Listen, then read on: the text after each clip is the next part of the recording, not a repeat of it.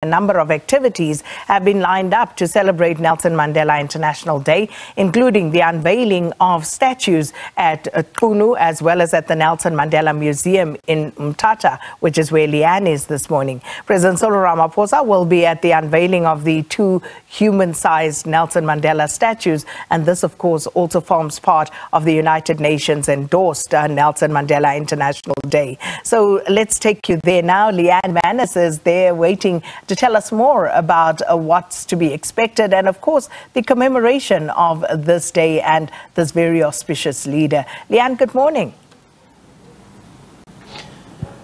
A very good morning to you, Sakina, and good morning to all of our viewers as I come to you live from Mthatha this morning. And as you rightly mentioned, outside of the Nelson Mandela Museum in the center of Mthatha. And uh, this, of course, the Bunga building, and this is the location of one of two statues that are going to be unveiled of uh, the former President Nelson Mandela on this, the 18th of July. That was, of course, the day he was born, not too far from here uh, in the Eastern Cape. And uh, the second statue that will be unveiled will be the one of him in Qunu, and that will be before he was a statesman and more of a, of a younger boy growing up in those areas. So that's what's planned for today. And uh, of course, this year as well, marking 10 years since the passing of the uh, the late statesman. And as you can see behind me, there's not too much to see, but this is the the one statue and the one that's going to be unveiled a little bit later on today. We'll be speaking to uh, the CEO of the museum, uh, Vuyani Boy, in our next crossing, so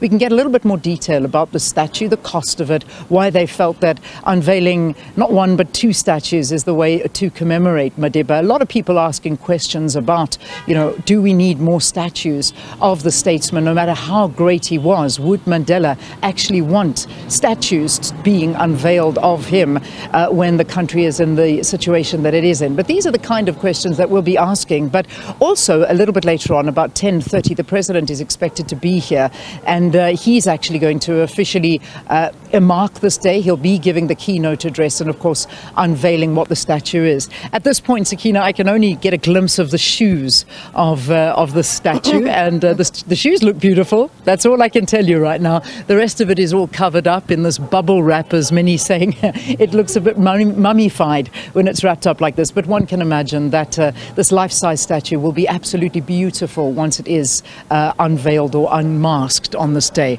So we can see already the, the plaque is out here and where it's saying this commemorative statue was unveiled by His Excellency Mr. Cyril Ramaphosa, the President of the Republic, on the 18th of July 2023. And this marks the 10th anniversary anniversary of the passing of the father of the nation, the struggle icon and former president, Nelson Rolihlahla Mandela. That's what that plaque says behind me.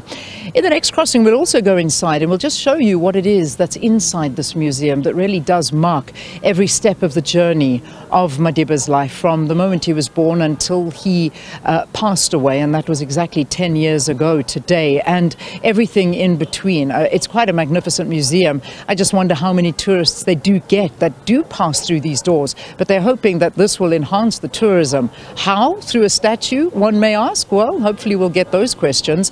But, you know, when you drive around the roads here and the streets of Mthatha and we see the potholes and people, you know, in, in very desperate situations, they, they rightly do ask that question could this money not have been put to better use?